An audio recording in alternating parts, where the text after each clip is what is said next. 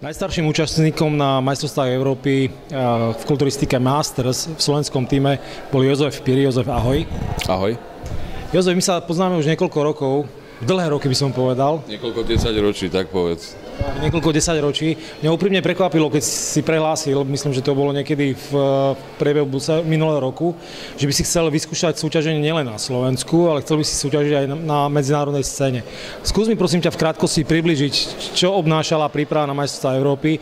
Na majstrovstvá Európy, ktoré pre teba dopadli veľmi dobre, ty si sa prebojoval do finále, kde si obsadil, obsadil 6. miesto v pomerne veľmi, veľmi silnej konkurencii.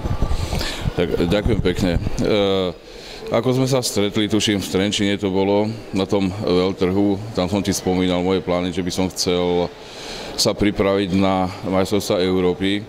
Len záver roka a začiatok bol strašne hektický. Videl som rozhovor s Vlácom Kuzderom, ten mal dve angíny, tromfol som ho, mal som trikrát angínu, trikrát som bol na antibiotikách, do konca januára som bol prakticky práce neschopný. E, príprava začala vypadať veľmi zle, ale nakoniec predsa som sa rozhodol, že nejako to dotiahnem, lebo objemy boli celkom slušné a nakoniec sa to podarilo do e, tohto šiestého miesta. No. Šiesté miesto pred pretekami by som bol trošku taký nejaký nespokojný so šiestým miestom, lebo človek je na preteky s tým najvyšším cieľom. Myslím, že každý jeden má v úmysle ísť na preteky vyhrať, ale skutočne, ako si spomenul, tú obrovskú konkurenciu, ktorá sa tu tento rok v tejto mojej kategórii zišla, tak som veľmi spokojný a šťastný aj z toho 6. miesta.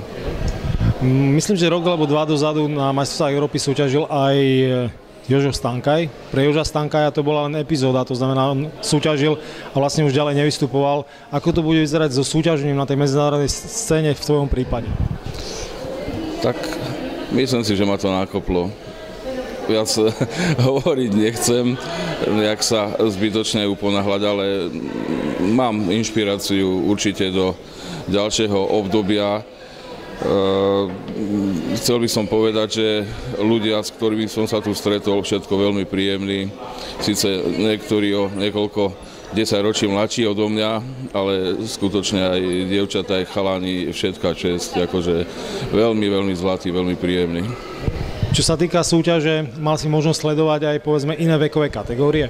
Samozrejme. E, dá sa povedať, že zúčastnil som sa skoro všetkých súťaží a držal som palce najmä našim pretekárom a pretekárkam.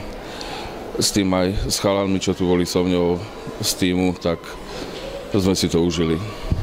Organizátori pripravili pre účastníkov e, cenou zvýhodnené vstupenky na profesionálnu súťaž Mr. Europe Pro. Zúčastnil si sa aj ty ako divák? Samozrejme, nenechal som si to ujsť a myslím si, že tento rok boli rozhodcovia skutočne objektívni voči môjmu obľúbencovi z Polska, ktorému dopriali zaslúžené víťazstvo. Myslím si, že konečne, takže držal som mu palce. Uh, Jozef, ja si spomínam, keď som bol ja na prvej profesionálnej súťaži, to bolo myslím, že v roku 2006 alebo 2007 v Gráci, ja som to strašne prežíval. Ja som sa tešil z tých chlapov, ktorých som videl na pódiu. Vlastne ja som bol v, v príjemnom prekvapení, v šoku, keď som videl tú masu, tú hmotu a, a tie objemy spracované do tej súťažnej podoby. Ako si prežíval ty túto súťaž? Tak už som videl profesionálnu súťaž, ale každá súťaž je iná. Myslím, že ja som to tiež ako prežíval. Je toto náš údel, táto kulturistika, takže dá sa povedať, že človek, čo s tom žije, nemôže neprežívať takúto súťaž.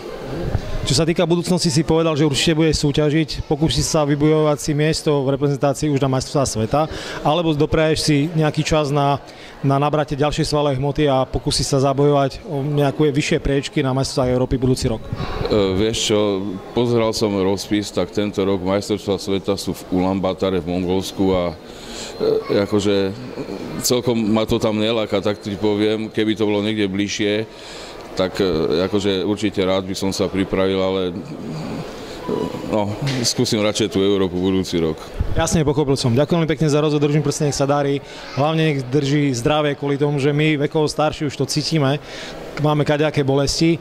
Ja verím, že dokáže sa pripraviť rovnako dobre, ako si sa pripravil v tomto roku aj na, v roku budúcom a vlastne, že podarí sa zabojovať a vybojuje si lepšie miesto ako to 6, ktoré aj tak je podľa mňa veľmi, veľmi dobrý výsledok.